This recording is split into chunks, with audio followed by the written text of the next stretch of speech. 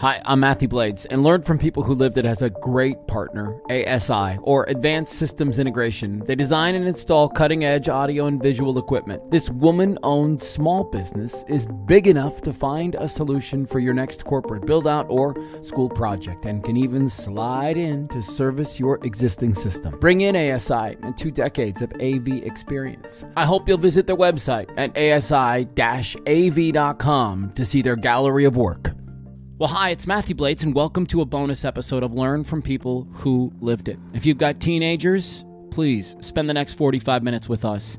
Meryem Tahiri lived in four continents prior to settling down in the United States. She's got a master's degree in business administration and management. She's a polyglot and considers herself a cultural individual. She speaks, reads, and writes in five languages and comes from a family of health professionals. Listen to this. Her dad is a doctor, her mom's a retired nurse, her sister an OBGYN, dad's finishing building a hospital in Africa in Casablanca, Morocco. Currently, Meryem works with young teens between the ages of 12 and 25 and has a hope to heal one child at a time to help them reach their true and best potential. Do you love it? She's fantastic, and she joins us for a very important conversation tonight about teenagers and the state of their mental health. What kinds of stuff are you dealing with on the daily inside those walls? So, you know, parents call really, you know, being frustrated. Some of them they call in because they don't know what they what kind of help they're seeking. Even sometimes some parents may not even know what their child needs. You know, they go to so many doctors, they go to ER, they spend nights in hospitals with the hope that their child can come home safe. And you have different issues. You have parents coming in with a lot of kids these days that I'm noticing having um, suicidal ideation. Um, some of them have a lot of um, a lot of issues with depression. Some of them have anxiety issues. Um, some of them have traumatic events. So they have a lot of family conflict. And sometimes the parents are just giving up. They tell come to me and be like, I give up. I can I don't know what to do with my child. Please help. And they're very desperate. And when they're desperate, they're leaning on you. They said, This is the only person who can help me. And you have to be strong. You have to be willing to listen and you have to show empathy. You have to be willing to be there and be, yes, I can listen to you without any judgment. And that's what I uh, my attitude is every day to listen to those parents, making sure that I'm there for them and be like their therapist. Just listen to them and then provide them with the solution at the end. Yeah, right. Well, everything you said is backed up by the numbers, right? We were talking about it a minute Mhm. ago. Uh, you know, ER visits are up 20% for boys, 50% for girls, and anxiety and depression is the reason cited. Uh, suicidal attempts, as you just mentioned, are actually up a little bit, especially with girls right now, as you well That's know. Mhm. Um, you know, and that's that just puts us in a spooky place. And here's also, I think, what's important one in three adults is living with anxiety or depression as well. Yes. And in some respects, you know, it's that old homage. You have the blind leading the blind, right? You have the you have the hurt people helping the hurt people, and so it, it can be a really tough cycle to get out of, and that's why people don't. You, Mhm. you hear about this all the time. At least this is my opinion. You hear about generational cycles all the time. This is why they're so difficult to break because they take a lot of work to come out of it. Um, and and but this is an area where boy, coming out of it could be pretty pretty helpful to you and and your kids, right? And Right. and future generations. So Mhm. you, you mentioned the T word, trauma. Mhm. Um, that's going to look a lot different for a 12 year old than it is a 25 year old, right? Correct. Um, I think most people know my story. At the age of 23, my dad had a heart attack in front of me Mm. and and passed away. I tried to Yeah. save his life, but I couldn't. Right. And at 23 years old, a young adult processing that trauma is pretty different from what, you know, say my 13 year old son's going to go through, right? Mhm. Yes. What capacities are they going to be different? Because that's a really great lesson for parents to understand that they're, you know, not little 18 year olds. They're in fact 13, 10, Right. 12. You know, one one thing that I notice when I do my clinical interviews with children is when I ask them about trauma, their response is always different than what the parent is looking at what trauma looks like. So when a 13-year-old tells me his trauma, I can definitely have a picture that definitely something was really in that kid. And how come the mom or the dad were not being able to detect the early symptoms? Because trauma can be in school, it can be with a classmate, it can be anywhere. And sometimes kids internalize those trauma. Um, and I think if the parents are not having a great or healthy communication with their children, the children can hold in that feeling for such a long period of time. And that can be until 23 years old, or that can be even for a long period of time. So I think it's very important as a parent to be able to detect early signs, um, to understand what their kids are going through. And sometimes kids are talking to us not only verbally, but I think they're talking to us non-verbally. Sometimes just the way how they're um, talking to us in a dinner table. They might be able to say that I'm being hurt, mom, today, or I'm not feeling well. But if they're not eating like they used to eat, or they're not being active in their social environments like they used to, or their favorite TV show is on and they don't want to watch it anymore, we notice that the behavior changes. And as we notice that behaviors are changing, that's what we are able to detect that there's a little bit more going on with our children. So let's first, we're going to get to that support piece in just a second because mm-hmm. it's so important. Yes. But let's mm-hmm. first maybe talk to some kids who are smart enough to be here and smart right. enough to be checking this out because they, you know, they they feel like, man, I don't know, something's not right. I don't know mm-hmm. what it mm-hmm. but something's not right. You know, uh, how, what can you do to help young people in in that situation because uh, you can never say this to a child and get them to understand but we've mm-hmm. all been there. We have right. all been your age. We have all felt your hurt your pains. We've all felt the things that you think you're the only one on earth feeling. Right right. Um we just have a different lens about it now. So what, what are you saying to younger folks so I always let younger folks know that we've been there, the same as they've been there. I think if they can find that they can relate, they can feel more they can trust you more.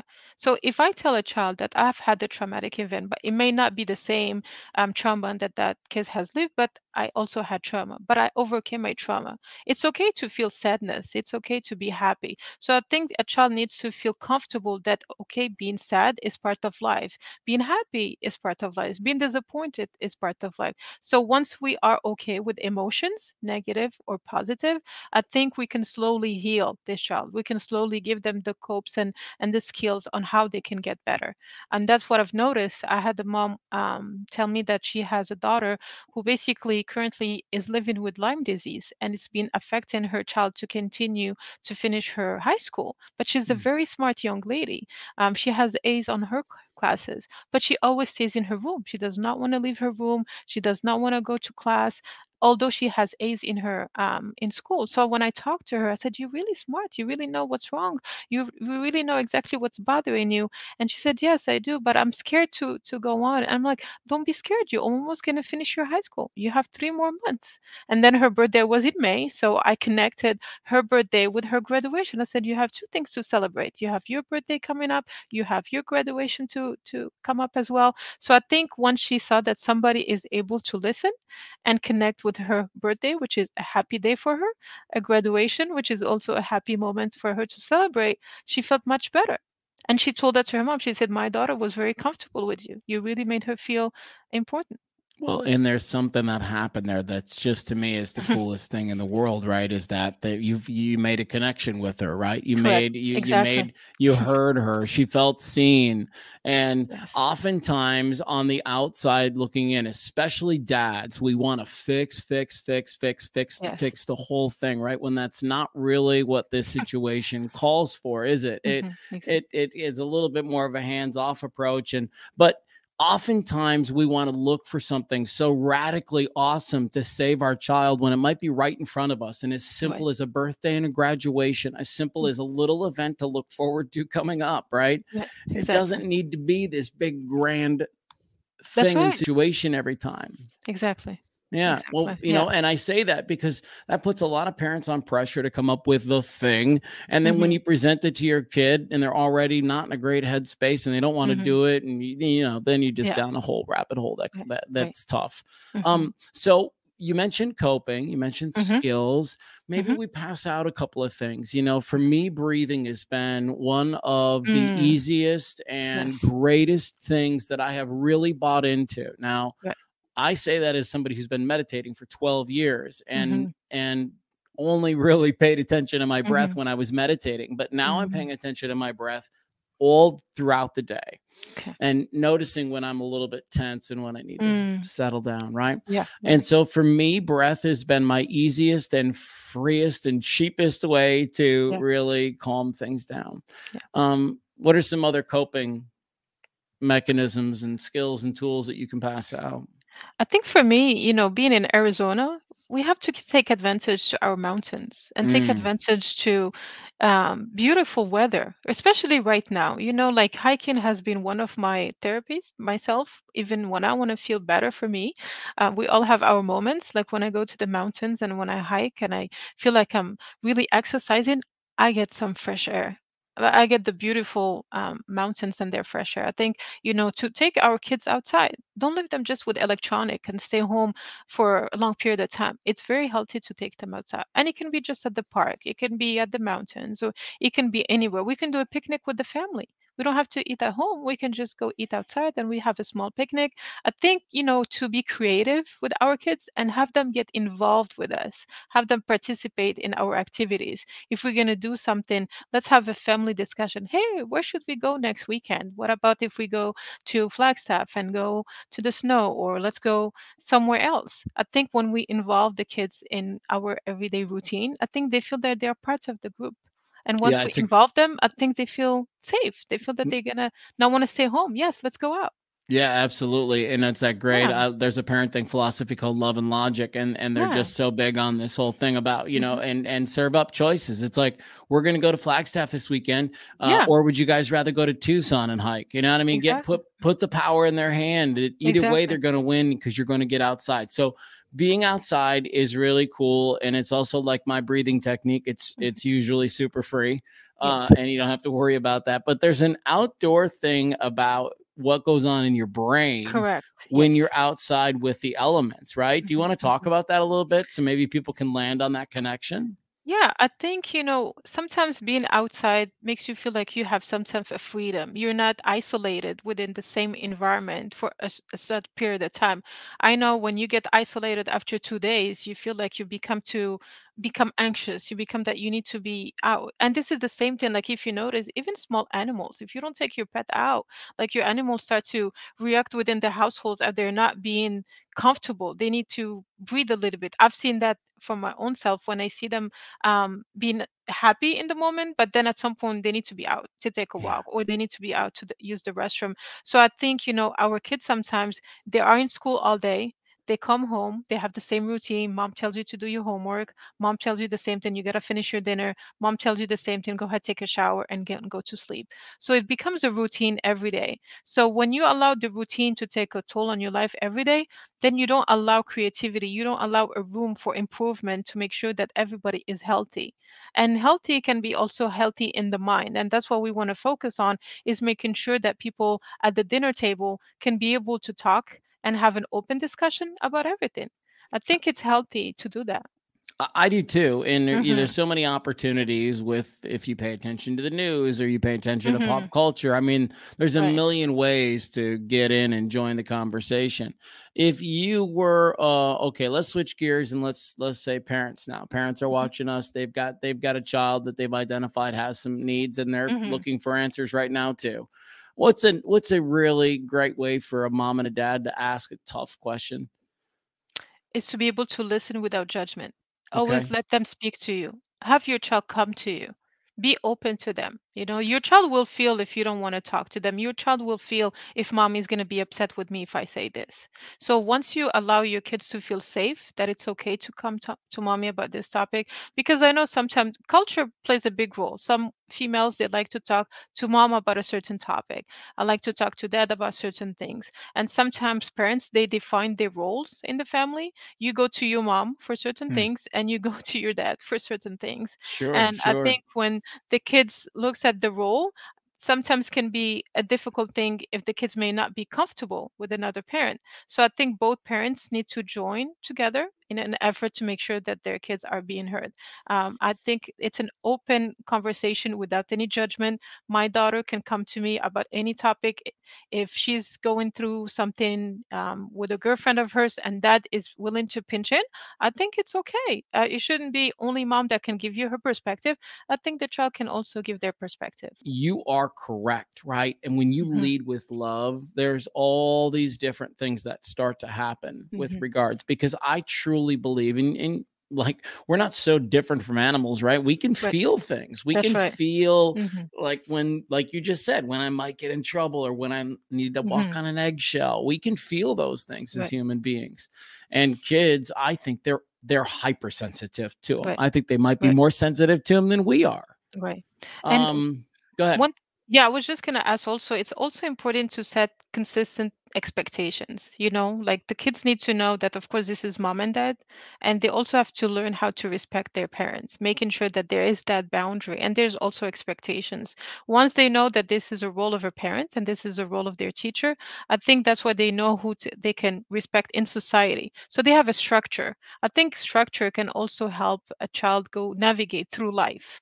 and navigate through life with with the sense of knowing what to expect in life and and parents also can play a good role in that you know and making sure that their kids um, can overcome any any challenges either in school or either at home with those expectations. Yeah okay so this is a good segue because now we get into this space that i love more than anything right now which is okay what's your job to take care of? What is your responsibility? We all have a story now mm-hmm. it's time to own it, and then we get to lean into shifting it or changing it, right? But that all is going to start with figuring that part out. So, like, let's ju- let's jump into that segue into that into that that next part of tools and um, what is your job as you see it from the role of a mom or a dad with regard to just boundaries because uh, it's not the child's job to put those boundaries up. It's mm-hmm. your job to figure out what they are and then enforce them, right? So, right. with regard to boundaries, what's the first thing that we can chat with moms and dads about in, in terms of putting them up and enforcing them? Well, example of boundaries, I would say, you know, lately we've seen a lot of kids just using a lot of electronics, and I think it's a very easy access you know and sometimes they see access to electronics you tend to forget a little bit about what's going on in the real world and you tend to focus on this imaginary world of world of uh, video games or worlds of um, everything is different. So when you take a tablet off or a phone off then the child feels disoriented then they get upset. And mm. i've been working with parents so and every time they say what was the trigger of the argument?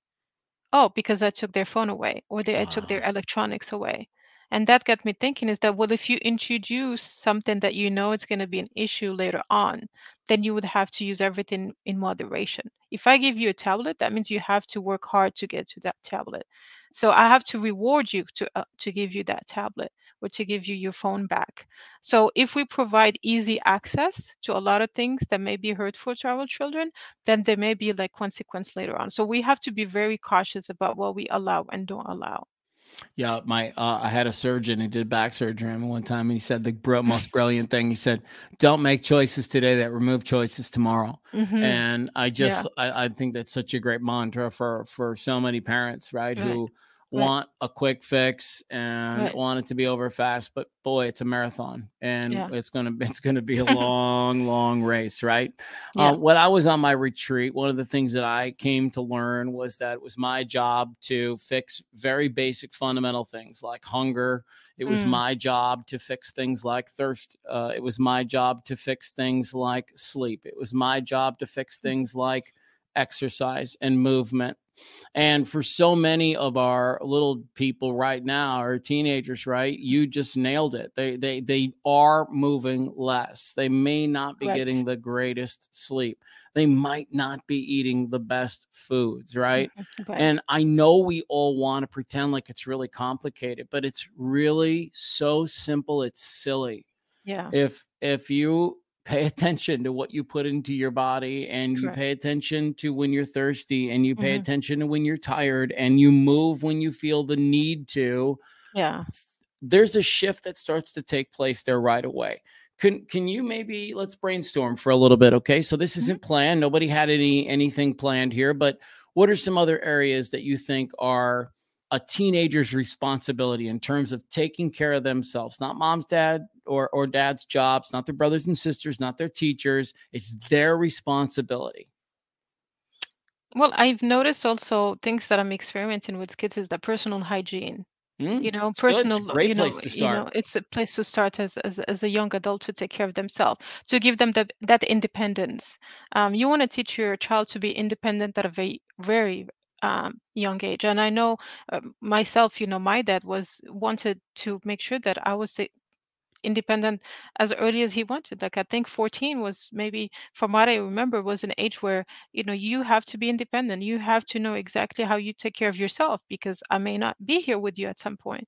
So, um, and taking care of yourself is not only hygiene, is also taking care of yourself mentally, is also taking care of yourself physically, is also taking care of your school, of your own person as a whole. Um, I think that's also one thing that I would like to um, parents to know is allow your child to take care of themselves when you spoil your children too much, it's okay at first, but then sometimes it may be a disservice in the end and it might actually bite you because your children will grow and they will be a little bit different with you and they're like, well, you allowed me to do this, you allowed me to do that, and now you say no to me. Mhm. Uh, and I've seen that too. That also creates that conflict with families. It's confusing, right? It's Correct. confusing because it's hmm in, it's inconsistent. Well, you Right. and you nailed something there. Uh, you said it's important that we take care of ourselves mentally and physically. And so, again, I love the hmm translator dive, dive a little deeper, right? So that means that when something hurts, you tell mom and dad about it, and Exactly. conversely, right? That that's hmm exactly what that means, and Yeah. you just are okay with the fact that there might be a consequence of it. You know that you may have to take time away from school or from a Yeah. job or whatever. Those things are hmm going to happen and Yeah. then mentally it's the same thing and you know this is a little bit more your space than mine but i've kind of come to learn that if you're sort of feeling the same way for a couple of weeks straight that's hmm a pretty good indication that it's time to put something on the table to to start to figure it out do, do you Yeah. like that Yes, I think, you know, if we look at our kids, pay attention to what they tell you. I always say pay attention to the nonverbals. You don't want hmm to wait until your kid is talking to you. And sometimes if the behavior has changed after a week, after two weeks, then it's okay to check in. Is everything okay? How's school today? Was school fun today? Um, we want to ask our kids this question. Did you have fun? Did you not have fun? And it's okay, even if they didn't have a good day. You know, we don't want to be mad or upset or showing them that you had a bad day at school. It, you know, you may have a bad day at work too. So you want to relate and to have those conversation openly without any judgment. And I think I always want to make sure because when I hear feedback from children, oh, mom doesn't understand me or she's always thinking that I'm not a good kid, or she's always making sure that um, I don't listen to her, or I don't look good enough, or I'm more, always wearing bad clothes, or so then the the feedback that I'm getting from the child, and I'm noticing it's always similar feedbacks. And if we're just making sure that mom is listening to the child without having the child tell us what's going on, I think we can reduce some of the issues that those children are experiencing. Yeah, there's a great hmm there's a you know I'm a big uh the Frank Luntz is a dude who used to write some speeches and he say there's a big difference between what you say and what people hear. And our kids, boy, that's never more true than it is with our children, isn't it? I mean, there's a big difference between what you say and what they hear or Right. feel hmm and and it's and and most of that stuff and and this is another one of my favorite subjects in the whole world these days most of that stuff is your own that's your Yeah. own garbage and baggage and hmm stuff that you've just never really gone to work on and figure Yeah. out where it's coming from and then hmm you end up projecting that on your kids right Mm, and That is I, correct. I would love to go down that rabbit hole right now which is to say that there there are some instances where there the the the kid's problem is mom and dad That's right. they are the problem It's sad to say, but it is it but is, it's it's you have say. to have the messy Right, conversation about it don't right, you right. It's true. It, it is sad to say because if you raise your child at home with honesty and building that trust, society may have, you know, its own role as well on shaping your child, but it starts at home. It starts at home. If the home is solid, is the home is is safe, the child is solid, the child is safe. And even if mom is not feeling okay or dad is not feeling okay, it's okay to ask for help and be honest about it. yeah i have a Yeah. friend of mine who's a psychologist and he's he's like he handles kids and Mhm. he'll tell me he's like two in every 10. I have to call Yeah. mom and dad after and I have to say, you got to back off. You got to slow Right. down. It's it's like what I'm getting from this person is Mhm. it's too much right now. And um, uh, Troy DeSmet, who's on the Learn from People Who Lived It podcast, has a thing Mhm. where he says, you know, you got to learn to parent with your kids, not on your parent, uh, not on your kids, right? Mhm. And so I love talking about this because to me, this is one of Yeah. those fundamental pieces that I don't think enough people unlock, which is to say, mom and dad might have their own traumas, right? It's quite possible. Mhm. We, we just mentioned that the kids had some, so they're most of them are going to become parents one day. Right. Mhm. Yeah. Uh, and you know, so what we have, what we hold on to is mom and dad gets put onto our own kids, whether you like it or not. They get all the Mhm. good, they get all the bad, right?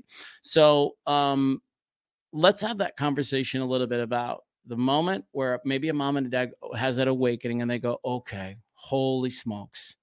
Yeah. Maybe I am my mom. Maybe I am Mhm. my dad. Maybe I am being a little bit too hard. Right. Um, this can put you into a space that's uncomfortable, and you know what happens in uncomfortable spaces. Nobody goes Right. there, Right. so they stay away. Right. But that to me is like that's where you need to lean in even Right. more. Right. So um, let's hash that out a little bit, right? Mom and dad just had a realization: I am the problem. Um, what would you advise them to do next? I would just advise them to give the child their own time to heal.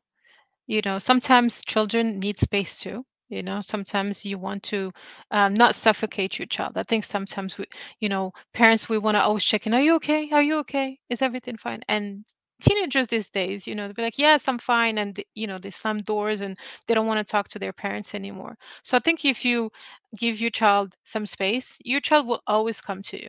Always. If no matter what happens, at some point the child have its own time to reflect, they will come back to their parents. And I think also parents need to also teach themselves what's wrong with them. They need to also dig a little bit deeper with their own selves and then understand where they where they were at fault. And if therapy is helping, maybe they can go and check therapy without letting their kids know. Maybe they can work on themselves, make sure they are the best version of themselves, and then come back to the family unit and make sure that everybody is um, stable and together. I Yeah. think um, the most important thing I always say, it's okay to say that I'm not okay. That's it. I mean, I can't. My kids have heard more than a dozen times in our life, guys. I'm so I'm sorry. That was that was my thing. That was Mhm. something that was mine. And boy, did I put all of it on you. I'm sorry, right? Like, and and again, I like to go back to guys because we're pretty pretty famous for doing this. But we have a bad day, or we have a, a bad meeting, or we have a bad experience, and because we internalize, we come home and we just tend to project and we tend to be aggressive. And this is Mhm. like. I'm not. I'm not telling anybody anything you don't know. We've known Right. this, and you know, when when you're a kid on the playground, we know boys are more aggressive. Right. Um, but but as men, we we tend to fall down that rabbit hole again, and we tend to internalize, and then we tend to get a little angry and and do Mhm. that whole thing. Yeah. And I always love passing along this little anecdote, which I learned in my own therapy sessions, which was to Mhm. say that I learned my anxiety shows itself through anger. So when Mm. I'm anxious, that shows itself through anger, and I think that's Yeah. something that can resonate with a lot of parents Right. as as as a as a light bulb moment, right? To say, "Oh, holy smokes, maybe I'm the same way." Yeah. Every time I'm anxious, I'm a little bit irritable, Right. Hmm. Right. Yeah. and then key in on that whole thing because it really is just about you know giving our kids an, a, a better version of them, you know, than what we got. Right? Aren't we all trying to do that? And you know, you brought up a point also that I've been thinking is that sometimes parents, you know, the way how they are with their girls is different than how they are with their boys. You know, when you're saying, you know, this is what I say to my son, that this is me. So it's different when a mommy says that to her daughter. Um, you know, being a daughter myself, and I know how my mom was with, with me was completely different on how she was with my brother, Mm. although she would disagree with that statement. But I certainly believe that moms are different for um their, for their girls um, versus their boys and that also can be a really um, problem and then a lot of kids you know mental because why are you treating my brother better why are you treating you know the daughter more strict than the actual brother. I cannot go to see my friends but my brother can see friends. Right. can i date? No he can date but i cannot date at this age. So a lot of issues that we can open that onion and then look at the layers. Are we really treating our kids fairly, or are we playing a different in gender here? Yeah, boy, that is such a good thing to bring up because people need to hmm know about it. And Yeah. and and and just for the sole reason that as a lot of kids are going through their own awakenings and coming hmm into who they are, Yeah. uh, as we know full well, the worst thing in the world is for them to grow up feeling like mom and dad are going to resent or Right. judge or have some kind of uh, well judgment on Mm, them. Right? That's a Right. that's a tough feeling for a kid. And so if they feel like they can be anything and do anything, Right. boy, then they just might. And how cool would that be? You know, hmm that's the way I look at it. Um, all right, now let's drill down on um, helping people out. So uh, I'm a fr- I'm a friend, I'm a mom, I'm a dad, I'm an uncle, I'm a sister, whatever the case is, and I have somebody that I love who's really going through it right now. Um, I mean, outside of going to the doctor and hmm getting a proper diagnosis, which is the you know the the number one thing that anybody should do is go talk to your doctor first. Like I said, if it's been more than a couple of weeks, but Yeah. how can I support people in that space? I think one of the things that I'm noticing now is that we need to make sure that like we go through the baby steps to seek treatment. I think sometimes parents when they go to the emergency room or they go to certain doctors, certain doctors may prescribe or diagnose a child with some of the challenges that the child is facing of the moment, but sometimes in my opinion I think they prescribe them for issues that may be long-term issues. They may think that they have depression for a long period of time and I think that I believe in the baby step model, meaning that, like, let's start with a small therapy. Let's start with a group therapy. hmm And then let's start with the psychologist. Then we can see the psychiatrist, right? Right, for sure, Because for the, sure. the psychiatrist to me is the ultimate solution that because we have exhausted all the other solutions and then we get to the psychiatrist as the last resort for help because i always believe that children have their best potential at a young age because once you know how to save a child at a young age they can true their best potential as an adult because at that moment they get their awakening while they're 14 15 and we hope by the time they're 19 and in college they have got that awakening that they need um, if We that makes um sense. yeah, for sure. In in Yeah. um episode one of the podcast, learn from people who lived it. Uh, Carrie lost her son tragically to a, an accidental overdose, and one of the things that she said in the podcast was, "I- "I wish I would have just gone in and sat with him more. I wish I hmm would have Yeah, just gone in and sat there yeah, until he said something." that's right. um and and that was a big one for me when i was going through my own mental health battles the I, I would tell my wife all the time the biggest way you can support me is that when you feel like i'm quiet and i'm shut down ask hmm me what's going on That's right. Ask me to articulate what i'm thinking and feeling and and just by that happening hmm like you said now i have permission now i feel like i can be open Yeah. um and when you because you got to read that body language like i talked about that's such a huge thing so that's my number one tip for Exactly. parents is Me like too. Yeah.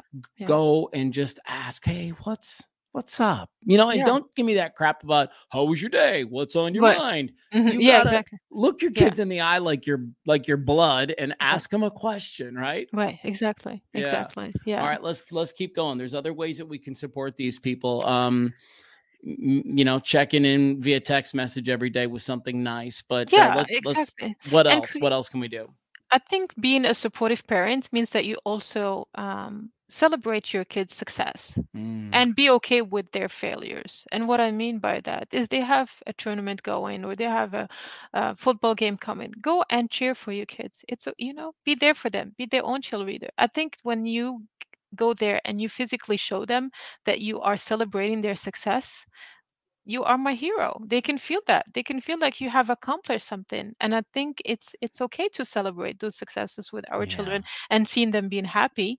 And on the other hand it's okay also to look at our failures and be okay with if, if it was a failure moment and learn from it. Be able to acknowledge okay this was a bad experience. Things happen i'm here to help you show you that things can get better and be open to have that open conversation and we need to learn how to speak to our kids without being angry, without showing them that we're angry. If we speak with them with a simple language, they will gravitate toward us. They're your blood, like what you said, right? It's your blood. So your blood will come to you. You will attract that positive energy. Um, another thing also that we talked about earlier, I think, is to acknowledge achievements and also support mistakes. Hmm Mistakes are okay to be made. And It's a if we big deal. It's it one of the biggest shifts I think we have to make in our society is becoming a Mhm. better with being okay with failure and mistakes and such. Yeah. And of course, treating them fairly. You always want to make sure that kids are being felt as being treated fairly. Um, of course, trauma can never be avoided in their life, but if we try to help them from that moment and slowly give them the skills and be there for them and help them and listen to them, I think, you know, one day at a time, you will see that your kid is feeling much better. I have hope myself for that. Yeah. And and and and then like we said, I mean, just always remember to keep it basic. There's there's Right. so Yeah, many that's the you try to Yes. look for the Mhm. magic pill and the magic Right. answer, but a lot of times just going and sitting is is about the best thing you can do. Going for a walk, like you said, is the best thing Right. you can do. Uh, I had a situation with my 15 year old a few weeks ago, and it was clear to me that he just needed a couple of days alone with his dad, you know. And so we got in the truck and we took off and we went in the nice. woods for a couple of days, and it was like Oh, that's you know nice. you got to Yeah. do that you got to Right, take that right, time and, right. and do those things but um i think this has been a very really uh, a helpful conversation for parents um if there's anything that i'm leaving out i hope that you'll you'll you'll you'll scream it out for the mountaintops right now but if we can implore anything it's just that we we hope that kids I want to give kids the confidence to talk. Right. If, if you're thinking that you're the Mhm. only one, number one, you're not. There's so many Right. people, like I said, one in Right. three feel this way right now. So it's so much more common than you think. I just hope that you'll have the wind in your sails to communicate to somebody who can give you a hand. Right.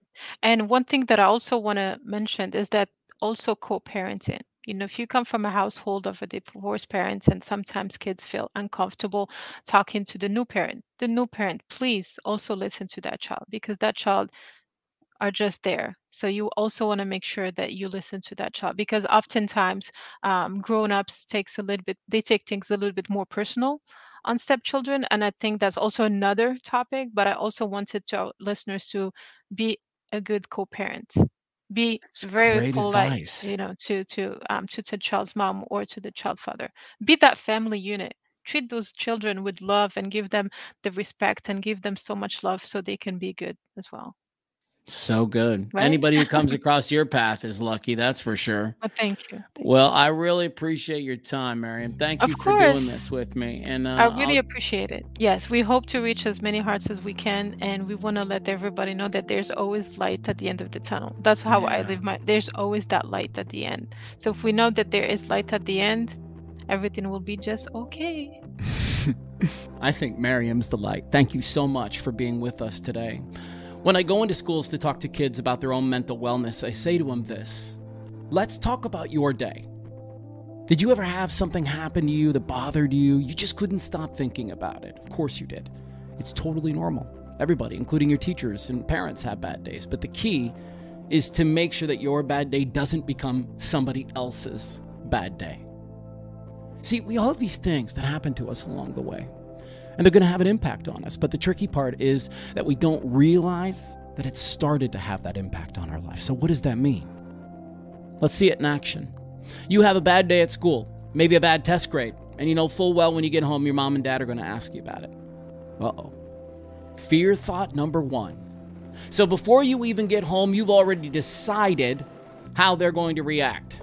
So, in that moment of fear, you, you what? Maybe you yell at your mom, or you talk back to your dad, or you tease your little brothers or sisters. Why? You're making a bad decision because you're scared. The stuff that's inside of you. Let's try this again. Somebody or someone put something online that's not true. In fact, it was really mean spirited. The problem is that you saw it on your way to school and now you feel like what? Of course, you feel bad. But what's important is how we carry ourselves after those moments. Show of hands. Who thinks that uh, a kid should be upset, angry, and lash out at everybody that tries to help him? Exactly.